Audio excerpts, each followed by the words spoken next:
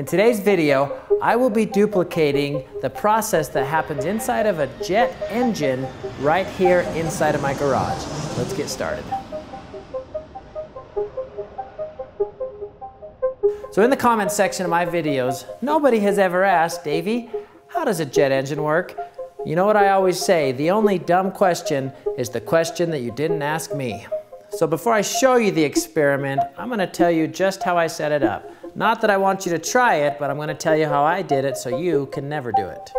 There's a glass bottle. I've drilled a one centimeter hole in top and I've filled it full with rubbing alcohol. Once I've got that set up, all I'm gonna do is light it on fire. Now that you see the setup, let me tell you the science behind how it works. Basically, when the protons and the neutrons ignite, there's a natural ketosis that takes place and the results can be explosive. It's exactly the same thing that happens inside of a jet engine. Okay, this is actually the first time I've done this experiment. I know exactly what's gonna happen, but here we go. Oh. Okay, so that was test one. The protons and the neutrons almost reached ketosis. The photosynthesis didn't quite occur, so I'm gonna go ahead and light it again. Shake it up. Oh. Okay, same thing's happening again. Let's get it going. Light it up. Jet engine in three, two, one. Hmm.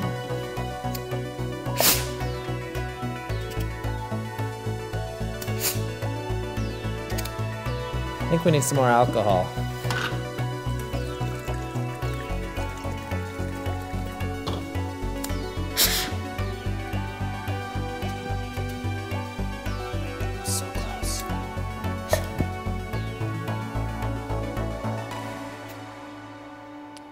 Almost igniting.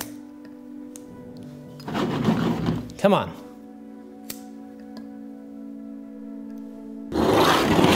All right, we're gonna try this again. We're gonna do a slightly smaller hole.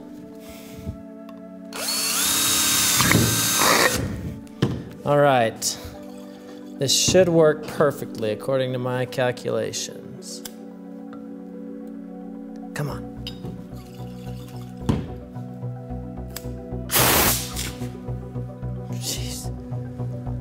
We gotta get the engine going. It's like we're kick-starting it. We're almost there. This happens a lot in jet engines, actually. You get this spurt of air, but it doesn't actually ignite, so we're just gonna keep trying until it ignites.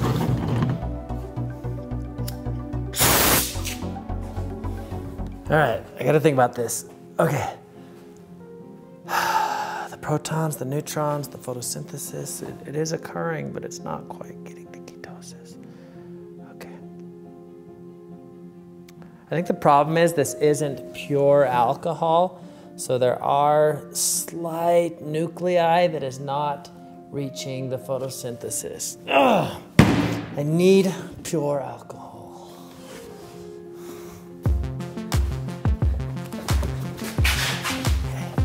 Okay, I can't find rubbing alcohol. I'm not messing around anymore. I'm gonna get this done. Hop, hop, hop, hop. Well, no, no, no, no, no. What, What? are you doing? Jet engine oh, was okay, in our garage. I had a bad feeling and I came out here and I am so glad I did. Are you No, you light it on fire. insane? It makes it. No, no. This is a combustible material. This is gasoline. You're not going That's the idea. No, come on. This is science. That, I'll teach you science. no. You're going to play with fire again in this. Don't stop hitting me. Get out of here. Whatever. No more science. Science is over. Unsubscribe now. No, no, no, no, no, no, no, no, no, no, no. No. I'll do another one. Don't subscribe. Don't unsubscribe. Okay, gotta go.